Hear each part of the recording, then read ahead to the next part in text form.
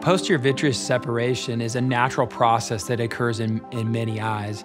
Our eye is filled with a clear, uh, clearish jelly called the vitreous.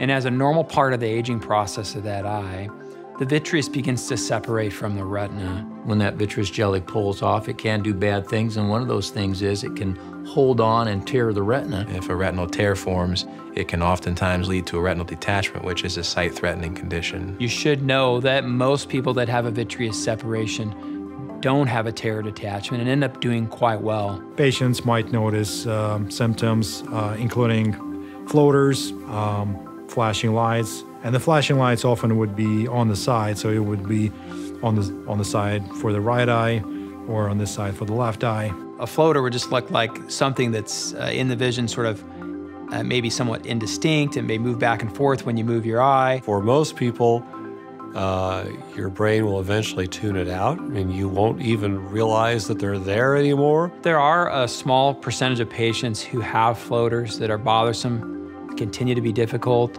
um, and interfere with things they normally like to do. And in those circumstances, floaters can be addressed very successfully with surgery. If you had floaters for uh, a long time and they have been about the same all this time, and you've had previously previous eye exams, uh, you don't have to worry about those floaters. When patients have experienced the new onset of floaters, irregularities in their vision, particularly if it's accompanied with sparks or flashes of light, implying that the retina is being pulled on, we ask them to come in and get checked out.